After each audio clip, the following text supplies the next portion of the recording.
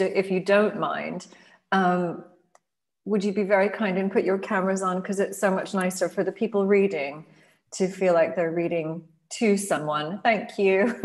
Thanks, Isabella.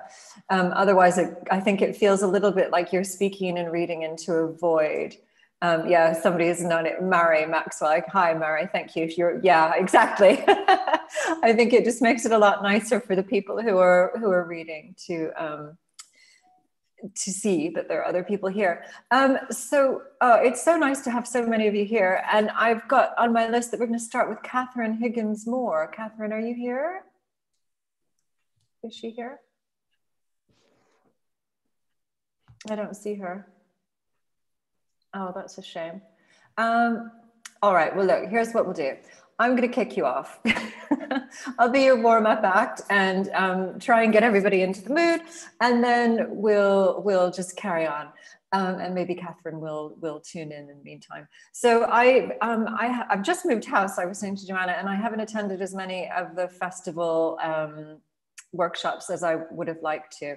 Last year was, was amazing, and the program this year looked incredible, but I was packing and unpacking. But I did manage to attend Elizabeth Reader's fabulous workshop on using detail and objects um, in our work to um, and to use them to achieve things like drama and tension. And um, i don't think i achieved that but i kind of i ended up going down the road that i often go down which is a little bit nostalgic. And i sit at my father's old desk and that was on my desk with post-its in it. So this is a little poem um, that i've written about that.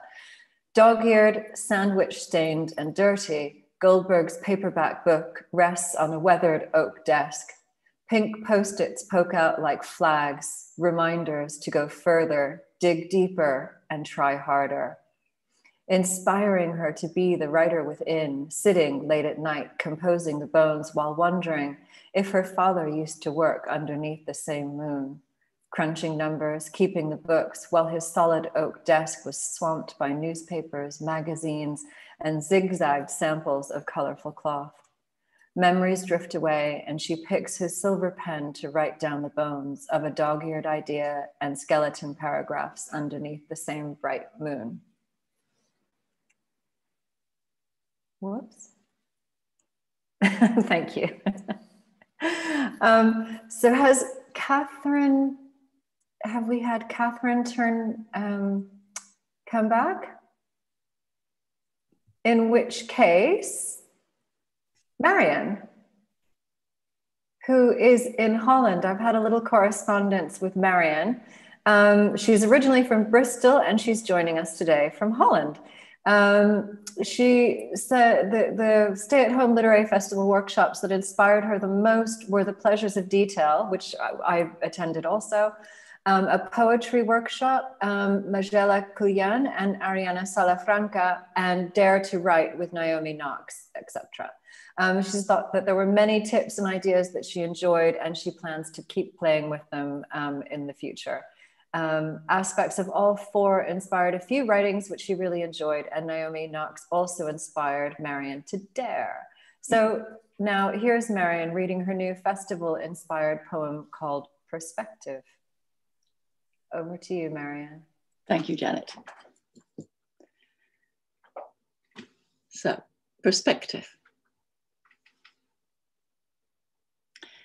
Do I carry my perspective as a torch held in front of my eyes as a blinding armor?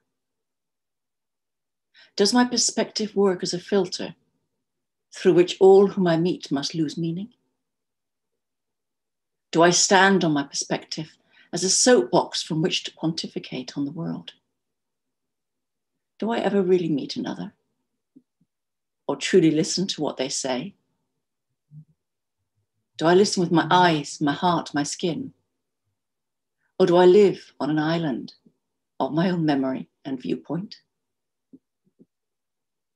Can I escape my perspective, my history, my gender, my politics, my genetic? Can I escape my time? Can I climb in a helicopter and rise above myself and see a perspective from above? Can I see as the astronaut sees, the vulnerability of this blue princess? Can I feel the perspective of the sun shining its indiscriminate life force on us all? Can I put aside my torch to feel at one with the stars, with the perspective of a million years? To carry a perspective in the now, not carved by the scars of what is no longer relevant. Oh, to put aside my perspective, to actually feel truly integrated and as one. To let, dare to let go, to let go, and to let go again. Without my cherished perspective, I can hug the me I long to be. I can let others be as they might be without a blanket blinding me to their inner beauty. Without my perspective, I stand vulnerable, unknown, new. But then, without my perspective, there is no need of my armor, only the soft light of humanity.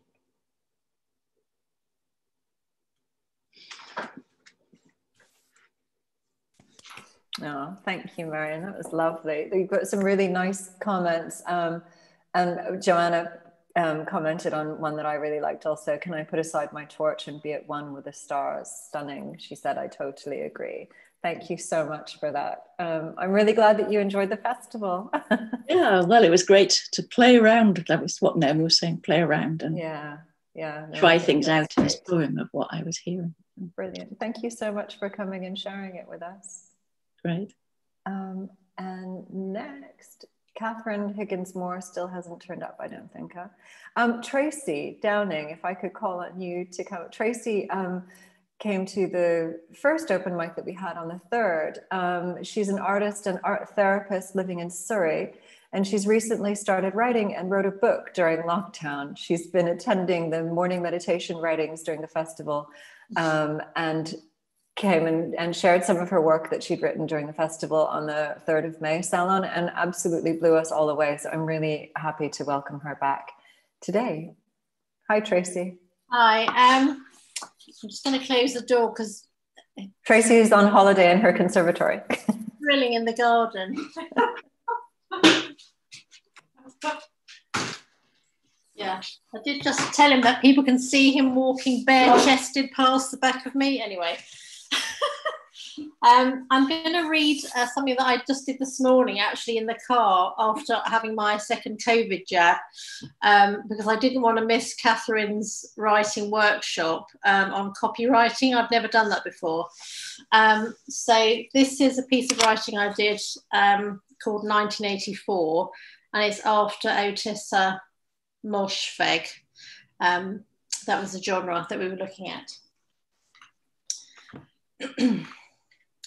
I looked like a girl you'd expect to see on an overground train. with Velour patterned seats, worn smooth in patches, flicking through some generic magazine. Shiny cover, dull edged.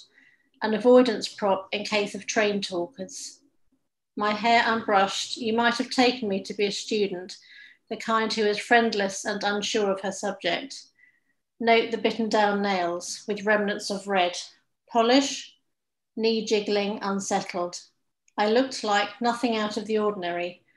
It is easy for me to imagine this girl, an awkward young version of myself, a battered rucksack slumped beside her, a corrugated takeaway tea in her hands, tracing the lines on the cardboard, an echo of the beating railway tracks. Then, picking at the ragged magazine pages, not paying attention to anything in particular, a kind of mid stare glaze over her eyes. I could have looked stylish if I'd bothered, but I was ambivalent about appearance, almost half trying to be something, someone that passed as unusual or original. At 17, you might have expected me to know about music, film, who's who, to follow celebrities and fashion.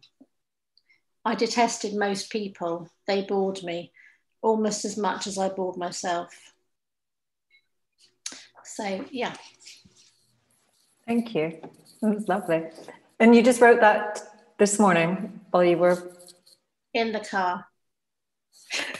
I think we're going to be hearing a lot more from you. Have I got a moment to read one of my poems from my book? It's a yes, please. Yes. So I wrote this book, Moans in Mind, um, last last year. I've only just started been writing a year really, um, and some of them are they're kind of dedicated to our NHS um, workers.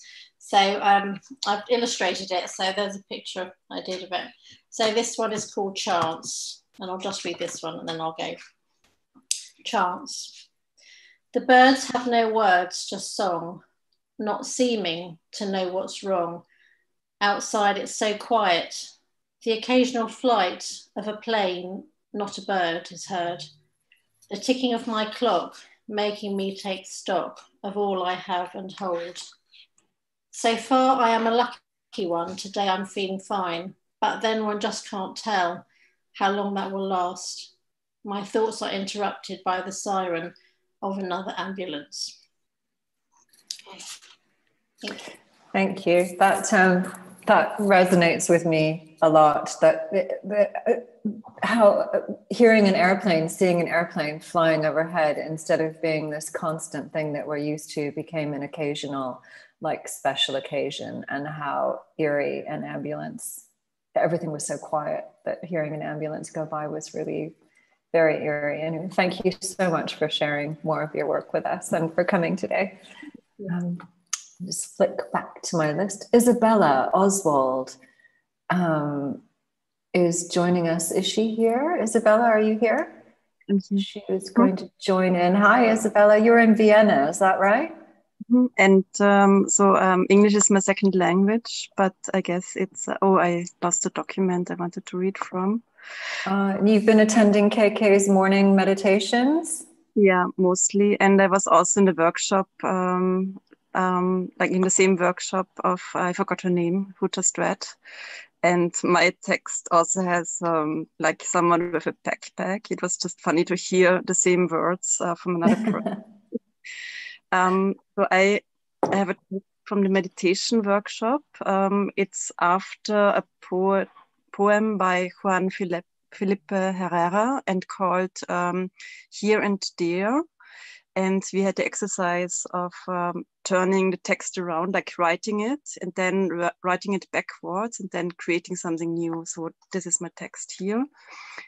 There and here, you and I, you are there, I am here, distance between the two of us, a brown reddish gap somehow things might be this way, tempting to be there and longing you to be here, overcoming, coming over, lines between the two of us, infinity, overcoming the gap, overcoming with joy. Joy wants to be expressed. The first drop of ink here on this paper for you over there, reader, ink of you, ink of joy, auto writing fountain pen, creating words without intermission, in connection with you, the you over there. I sit and meditate with you over there. I am here. I, I aim to be here. I am to be with you, with you over there, there, you are. That's it. That's lovely. It has a really lovely rhythm. And also, I, I live in Spain um, and I'm pretty fluent in Spanish, but bravo, I hats off to writing in your second language. I think that's really a huge achievement in and of itself. Yeah. Plus, it was a beautiful poem. Thank, Thank you. you. What I wanted to do um, is like, you know, I, I cut the lines and um, so you could read it the one way or the other. Like you, you can combine the different. If you see it, it looks different, and then you can read it the one way or the other way. So oh, that's really nice, clever, yeah. fun. I I also have the text of this morning, but um, I I guess there's some more people who want to read. So, but I just want to. Well, why don't we keep? Uh, do you want to read one more? We have time. I've had, I think one or two people dropped out, so there are a few extra minutes if you'd like to read something else. Maybe it's interesting to hear another version of the morning. Of yeah, the lovely. Um, okay. Um, okay, I um, no, I have it somewhere else. One second, I need to look for it. Um, maybe somebody else. Um, yeah, and then you can have a look, and we'll come back to you. Look for it. Yeah. Mm-hmm. Okay, that's great. Thank Thanks you. for the feedback. It's a pleasure. Um, next up, Claire Lavery. Claire, are you there? She's there. I can see her. Um, I've unmuted myself. Can you hear me now? Yes, I can. Okay. Um, hi there. So Claire's hi. Claire's written a poem during a poetry session on the theme of being thankful. And you yes. said you also have a witch spell poem to the yes. goddess of Bridget. I think they're both quite short. Um, Fantastic. The, Let's the, hear them the, both. The first was from the poetry workshop with Nadine Aisha Jassat, mm-hmm. um, which was the Thank You for Small Things workshop. Oh, out of which I out of which I got two poems actually, but I'll read one of those, which um, we did the first exercise. I highly recommend it actually for working with people in support and therapy. We had to make a list of things we were thankful for, and then next to them in the next column write descriptions of those things. Um, so I took my room and the place I'm in, uh, which is looking onto my garden and my watercolors, because I actually um, self isolated here and I've not moved out of it. So I'm sort of living in my study and I took everything from the walls and from what I can see out the window. So um, I'll just put you down so I can read my words. Okay, thankful. I'm thankful for long stems, cupped petals bursting, bell shaped mouths thrust open by nocturnal watering. I'm thankful for the intensity of colours springing wild from my window, nature's gifts, unexpected showings in pots, delicate clusters, mellow in the half light of morning. Hang on.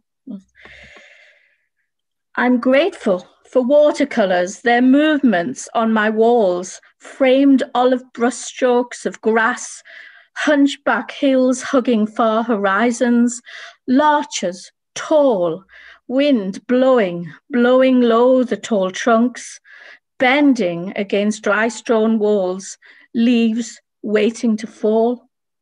I'm thankful for wide skies of border country.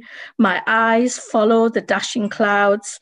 I enter them softly as I write at my desk, each painting a hymn to my wanderings, the places we visited, the maps our lives left. I'm grateful for this keyboard, playing lush as a piano, knee deep in the high grass of meadows, pausing by borders of fields in flower, rapeseed or wheat, trees in full blooming, words on my page, visiting the heather on moors of my making. So that is my poem that I wrote in the workshop. Um, lovely. You've had, I really enjoyed it. And there are some nice comments which you won't have been able to. No, I can't um. Have a look at. But um, it, even you read beautifully. It's very um, evocative. The Thank way, you. The way you read. No, thank you. And will you read your your? My um, second poem. Um, one bit of background. I'm of uh, Irish descent. Uh, I'm actually decided to read it not just because of the witches, but because last week we got the Domestic Violence Act. I, a lot of my poetry is for people in situations of domestic violence or going through the court systems. But at one point, I diverged into pagan goddesses, thinking of inspiration, not just feminist figures. I've also written poems about Josephine Butler. Um, in fact, the room I'm sitting in was the old post office in Corbridge where she would have posted her letters into my wall. So I wrote a poem about that. Um, but this is St. Bridget. I think everyone who is Catholic has got a Bridget in their families. But when I looked into the goddess Bridget, I saw that she was the goddess of poetry and hearth. So the goddess that protected the family and the home. So I've chosen to write this because this is the voice of a mother um, uh, inspired by Bridget, the pagan goddess, to protect her hearth from um, a predator um, within the home. So it's called Wand Spell.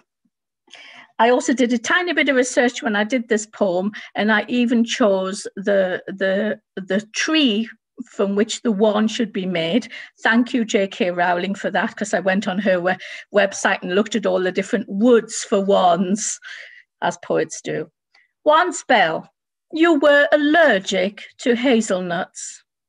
Lips swelling at skin's touch, reddened, repelled, wounded in their eating.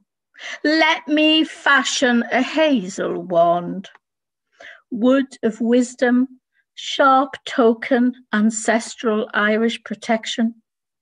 It will bring you a storm in its divining. It will soothe the soul, cleanse all hurts. Let me use this wand, trace a circle in the woods, surround myself with its coppice force field as a protection against evil spirits of ancient times. Let me repel you with nesting nightjars then adorn my hair with apple blossoms, unlock secrets to a longer life, waiting for you in nature's canopy.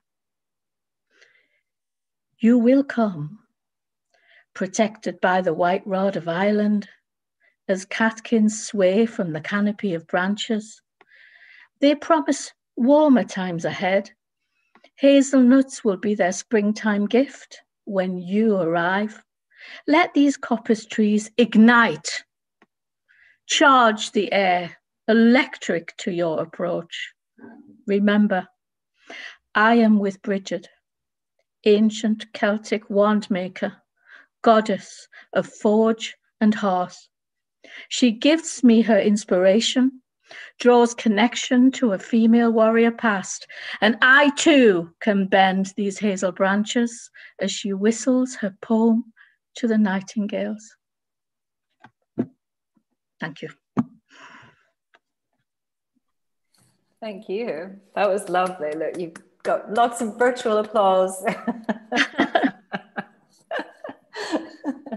Thank you just, so much. Just really choose, you choose choose your wand based on my, my ex-partner was allergic to hazelnuts choose your wand depending on the Which person. allergy? Oh, I did- there's a lot of research behind this little ditty but i'm pleased i've been able to do it publicly because sometimes we write these things for ourselves Is that the first time you've read that in public? yes yes Is i mean i have poetry published in books um, um, um, usually for fundraising i'm putting together also uh, an anthology uh, but um, and i use a lot of poems um, in activism uh, but some poems are really sort of t- a form of self therapy, really.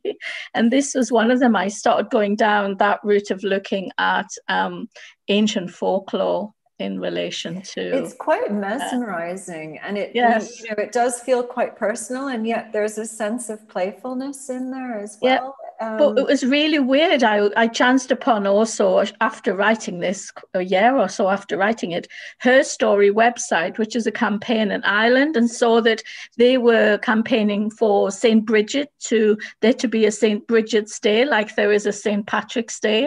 I didn't know that, and they were using um, St. Bridget, the pat- the not not just the the Catholic um, saint, but also the pagan goddess as a symbol of um, female empowerment. So I thought, oh my God, I was on the right track there because Yeah, I'd I'd seen these gorgeous images of of Bridget, the goddess, the pagan goddess, online, and that's where it started. And then I started looking at wands. I spent ages looking at J.K. Rowling's wands for Harry Potter, and then they both came together. And I've got my little spell. I remember actually being fascinated by well fascinated. I just I loved that part of her of her books with the Yes. the one and the one choosing the person that sort of played and the, the and detail wand. that she must have gone into to Yeah, to think that all up. Yeah. Oh, well, thank you so much for coming and for for Bit last minute, but- really entertaining reading. Thank you. Thank you. um, oh, it was fantastic. Um, so next up, we've got Fran Hill, who I believe um, I don't have um, any info. So you just start talking, Fran. Tell us what you're going to read. Okay, um, I've been really inspired by um, the novel novelists that I've been um, looking at and watching in the festival because um, I'm in the middle of writing one, and just anything about keeping going has been really inspiring and, and being confident in your own to keep voice. going and and um, keep that momentum. Yeah, absolutely. So um, that's been so encouraging. So um, I, I, last year I published a book which is um, a teacher memoir, a memoir of a, of a year in my life as a teacher. Um, but this would be um, my first novel um, if it ever gets published. But anyway, this is one, one down. Yeah, one down. so what I'm writing is a novel about a girl called Jackie in 1976, and she's 14 and she needs a new foster home. Um, and the new foster home is not going to be what it should be. That's uh, basically, I think, what's going on. And um, just at the beginning of the novel, I'm introducing ideas about why she needs the new foster home. So this is Jackie. I could see from outside the house that Dad hadn't opened the front room curtains. So even though a perfectly decent spring sun nosed at the windows, it hadn't been invited in. I put my key in the door, then listened before I stepped into the hall, bending to pick up post Dad hadn't bothered with. His size 11 shoe print had marked the brown envelopes. So he'd been out then. No need to wonder where. Envelopes with windows, the ones he hated most. I often had to rescue them from the bin and iron them hard with my hands in case he was making things worse for himself and for me. Dad, I called, hanging my blazer on the banister.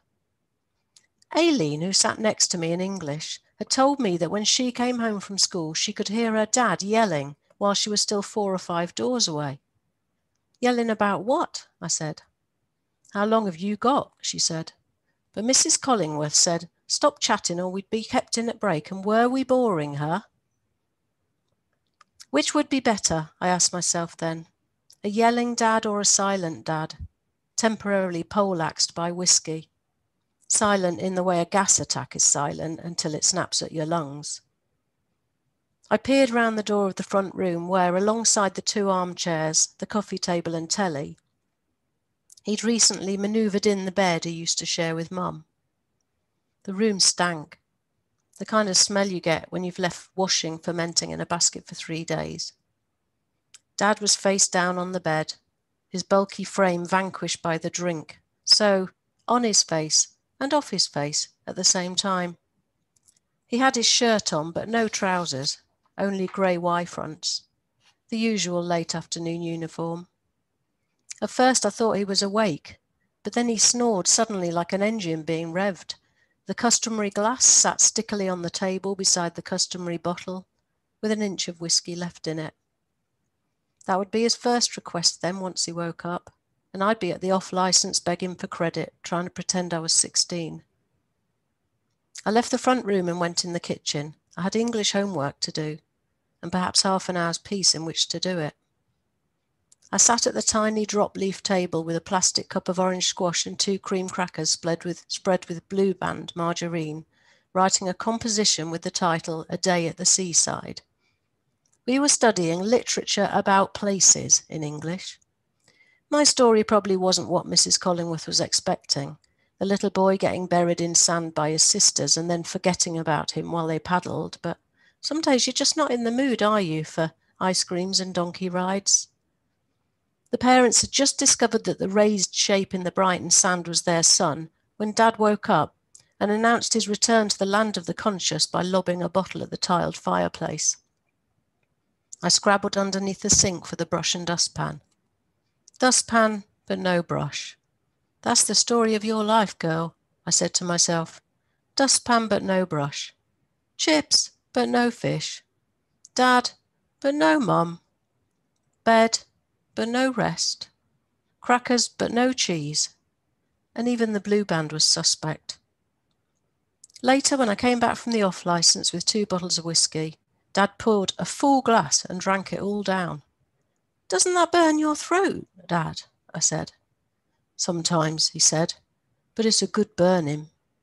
He said it through a cough, though, so he'd never have made it in advertising.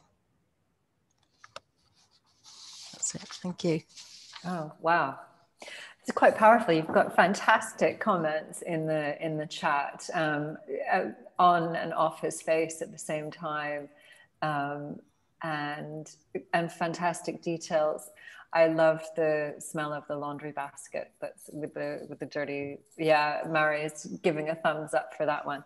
So what I was wondering is if had you writ, written all of this before the festival, or is this what I'm working on? And so what I, I was wondering if you if you knew or you could share with us a little bit about what changed, what um, did you change anything kind of inspired by some of the workshops that you've been to? I think it's. I don't mean to put you on the spot. Yeah, yeah, no, I, I think it's that sense of confidence, just keeping going, because mm. um, just lately I've just felt like, you know, maybe this isn't it. You know, it's such a long haul to to write a whole novel, and you don't even know whether anything's going to ever happen with it. So um, I think it's just the confidence to keep going. And I was listening especially to the writers of Boys Don't Cry and the um, the one about the pandemic. I can't remember the title. The something of men, I think it is. Does anybody remember the name of that one? I didn't attend that one. You can write it in. Oh, um, Mary says Fiona Scarlett. Yes, yeah, that's yeah. right. And yeah. that was just so encouraging the because they just yeah, they just kept going with their novels even though I think one's a full-time lawyer, the other's a full-time primary teacher and I was just thinking, "Come on, girl. you can do this." so yeah, really encouraged. Oh, well done. That's brilliant. Um, somebody says, um, can you let us know the name of your memoir? Okay, I'll, I'll put it in the chat. Thank you. Okay, yeah. brilliant. Thanks. Thanks so much. It was lovely to hear from you. Mary says, Fran, it's really gripping and engaging um, and full of much authenticity. Please keep at it. Yeah, I think to keep at it. oh, thank you so much. It's lovely to meet you. Um, next up, um, have I missed anyone? Would any is there anybody who's inspired to share something that maybe didn't sign up and would like to? Otherwise, Joanna was going to um, Oh, sorry. Um, Mary says she couldn't spell. I'm not sure what the spelling mistake was. anyway, you can correct us, Mary. Um, Joanna, you were going to read something that you've written before. Yes. Oh, um, I'd also, um, sorry, my voice is going a little bit after presenting quite so many sessions after the last two weeks. Um, but Carly's also going to read one after me, if that's all right. Fantastic. That's great. Great. Right. I shall spotlight myself. Okay.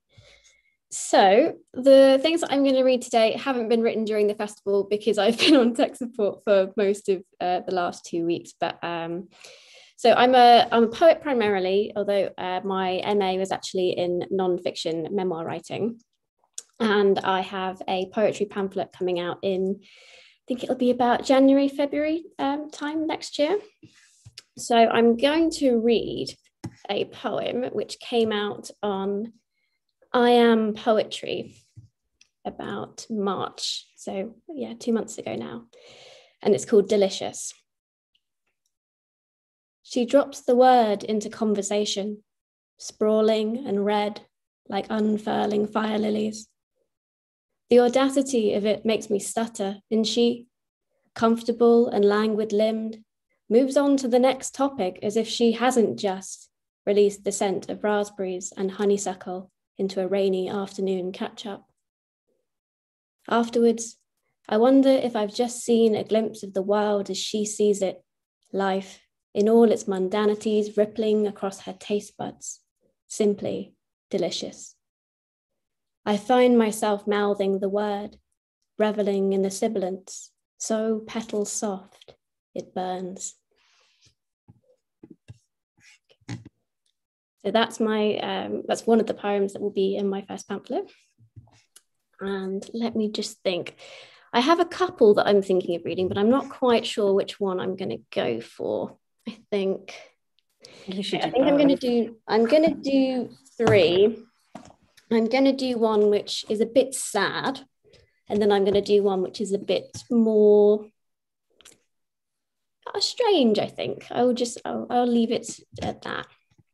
So the second one is called Look at Me, and it was published in Atrium Poetry uh, in September 2019. Look at me. Before you leave, you must know the shape of the orchid, the narrow rod of stem, itself held up by a green plastic pole, too fragile to support the glut of blooms billowing at the head. Before you leave, you must know that four months ago, the plant was a barren knot of stumps. Blanched in the white windowsill sun, it leaned against the guide pole, unmoving for an entire winter. Before you leave, you must know that when spring came, I reached to wipe the dust from its leaves and discovered a bud, a knuckle of a thing, tiny, barely a suggestion of green. You must know that I thought of you when more buds opened and opened and opened. I thought of how thrilled you'd have been, of the shock of cerise in each center, like the bright silk lining of a dull coat. Okay. That was lovely. I love the um, the knuckle image for the little bud starting on the orchid. That was lovely.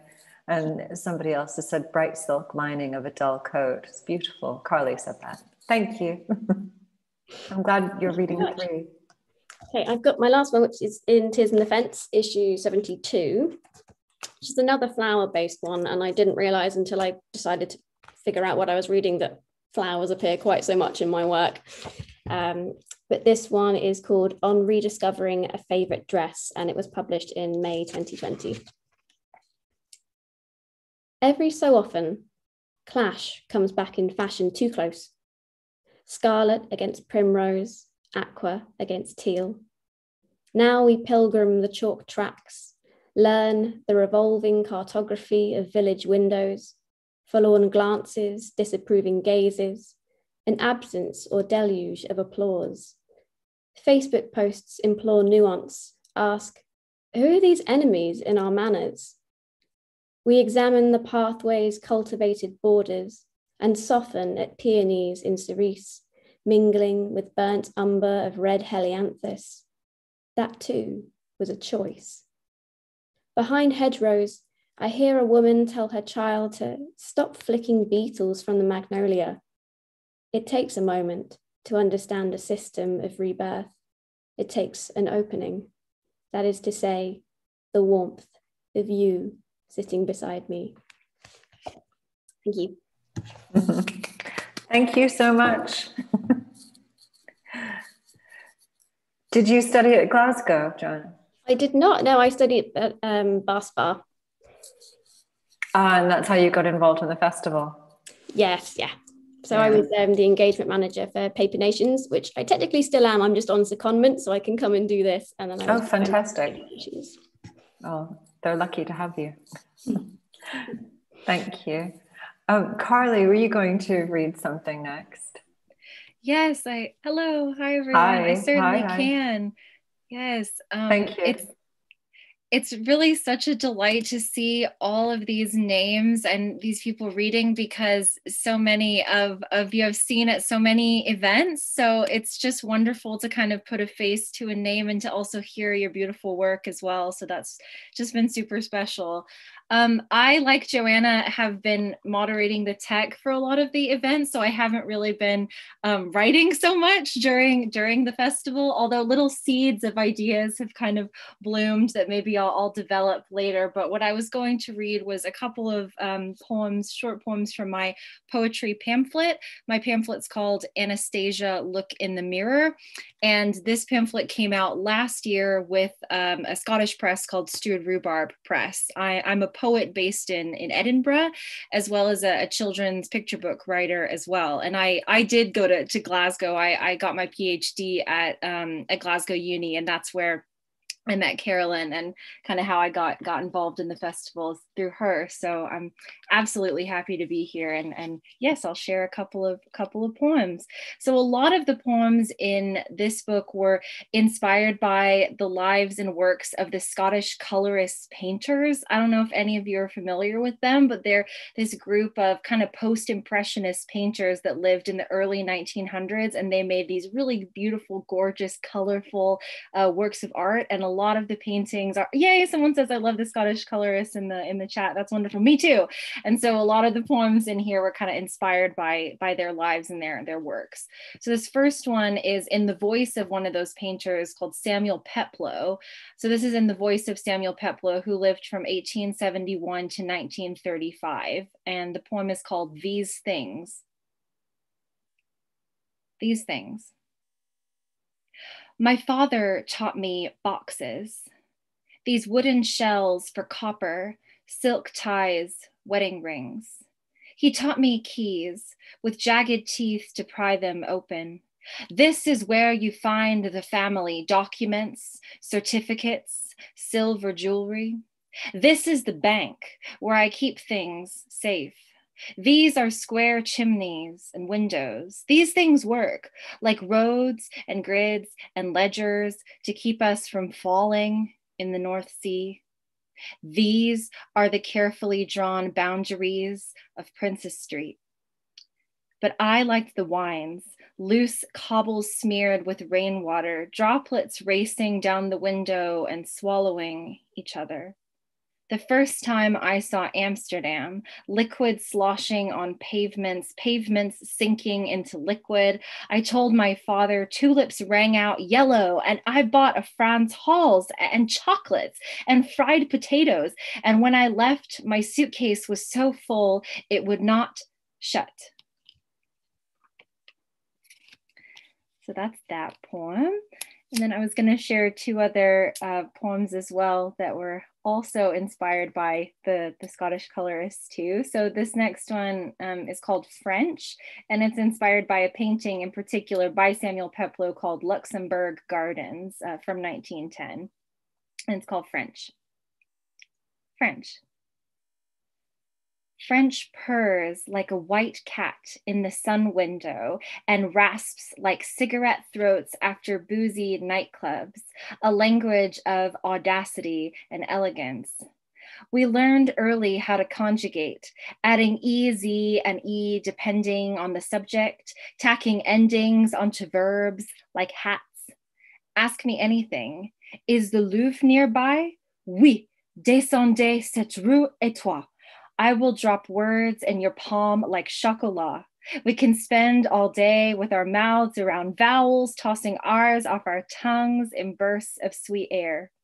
But when they took me to the Jardin des Tuileries, nobody asked me for my words. I held them in the folds of my English skirt, gazing up at flamboyant trees, the grass lit with flowers and everything swaying, no firm edges like the language, I wanted to speak. So I'll share one more poem as well. And this is actually the last poem uh, from the pamphlet, and it's inspired by an, a different painting um, by another of the Scottish colorist painters. And this one is called, um, the painting is called Iona Croft. And uh, the painter is Francis Cadell, and the painting's from 1925. And all these paintings are really beautiful. I, I really, really like their art. And so, yeah, this one's called The House um, the house. Somehow the sun melted onto the roof, cracked open like an egg, and all its juices ran down the sides of the White House on Iona, dripping and sliding in avalanches of color. All the roofs were blue, but this one, with its melody of falling reds, seeping browns, and blurring tans. See me by the pink waterfall haystack, my legs pressed against the grass, wondering who decided to unstop the bottle and pour it onto that little white house. And if inside the colors fall on all the furniture, the roof leaking red and yellow, splattering the floorboards with strange brightness like eyes adjusting to light, making chairs sing orange and pink high notes. I fall asleep and dream of who lives there. Maybe their lives are fresh as new paint, cold and wet and slippery to touch, in that little white house where nothing ever settles and nothing ever hardens. Thanks for listening. I'll, I'll pop you, the. Carly. Well, your reading's infectious. You look like you're having a great time, and I think that extent that kind of passes on to all of us who I think are all really enjoying hearing your reading. Oh, thank you so um, much. The one about French and being the Jardin de Tuileries, I think resonated with a lot of us. And it reminded me a little bit of Angela Carter's retelling of Puss in Boots, where he says, You can only purr in French. It's the only language you can purr in. Oh, I love that. I haven't even fantastic. heard that. That's wonderful. Oh, fantastic. I read it and I cracked up. I thought, yes, of course, that's the only language you can purr properly. that's great. Thank you. And um, Thank you. Tracy was saying um, about writing to painting. She's interested in writing it as if her paintings are having conversations with the poetry. And that kind of makes me think we should have a conversation about ekphrasis. That sort of response between the two. It's great. Absolutely. Yeah. Thank you. Um, Thanks. So I, have I missed anyone who would? I think Rufus would like to read. Um, I'm not sure where. Hello, hi. hi. hi, Thank you. I'm so glad I managed to catch this because uh, I was in between making dinner for the girls. But I'd like to say thank you so much for the festival. It really has been an anchor for me the last couple of weeks, and I've had I've got so much out of it, and it's really really held me. So thank you so much. But um, these are all uh, pieces I've written throughout the festival, so I'll I'll power you through them. Um, stop me if I'm if I'm uh, going over time. Uh, so this was a from the Beat uh, Dub Poetry Workshop. We are way silence at the centre of the beyond blind rogue reporter, men with dutiful daughters who become women next in line for the slaughter, genocide of gender, boys' club of keen contenders ready to do their worst. I am done with bending. My back is broken. They report on murder, but stay softly spoken. Feds roll out new agendas, but this is just token. Bullied, bruised, brave blues rip up the old school rules. Women's welfare is broken. Uh, and this next piece was written at the uh, Writing Happiness workshop. It's called Ironing don't think just do whack on line of duty or bbc iplayer. Reminds me of the old days when the omnibus used to soothe the sunday I can be present with my girls, but they just do their own thing in play. I scorch my love into their uniforms, getting ready for the week ahead, rather than being uh, rushed, rushed mornings in a hand-to-mouth situation, day to day, perfect planning, cutting through creases, keeping the utility room ship shape, fairy fabrics, double denims, rainbows and ribbons, rig outs ready for the better, brighter days planning for summer holidays, bag up the hand me downs for friends of littler girls, these treasures too good to just throw away. They say that cleanliness is next to godliness. I say that ironing reconnects me to breath, keeps the blame train at bay. I loop, it's gonna be okay. I iron to say I love you, to keep my mind fine. This is my mantra, my soul food. This is how I honor us every Sunday. Um, and this one was from I think uh, another happiness writing for happiness uh, workshop. Uh, I'm mega obsessed with dandelions right now. Dantyllew in Welsh, which gives them a bit more raw. I keep the garden tidy, but nothing grew last year except for a trampoline and little girls losing their curls. Alice dug up all my sunflowers, but the dandelions, bright and bold, brilliant, resilient, I heard they're good for the bees. I like the colour anyway. This year they remind me how far we've come, a marker of the journey we've been on, the things we've survived, the bouquets my girls gifted me, peels me out of the plague, pulls me out of the plague, and every spring I'll be waiting for their return, for them to pull me back into my body. Um, and uh, oh, this uh, maybe if if I've got time to share uh, one more. Um, this was from the Day to Write workshop, which um, I feel so blessed that these have all been available to me and free. Um, the things I didn't know I loved. I didn't know how much I loved dandelions, my new markers, the biggest blessings of spring, survival. Together we turned trauma tribal. I didn't know how much I love books, especially the sad ones, the ones I am yet to read, the ones I will write. I didn't know how much I love dog hair, how blessed I feel finding the remains in skirtings. I didn't know how much I love Pritt Stick, how it perfectly patchworks, collage reconnecting me to self. I didn't know how much I loved lavender and ylang ylang and how it always knows what to do. I didn't know how much I love the birds, their committed choir. They sing in the sun and call me to prayer. Thank you. Oh, thank you so much, Rufus. That was great. Good fun. Um, I'm glad you you got a lot out of the festival, I guess, by the sounds of it.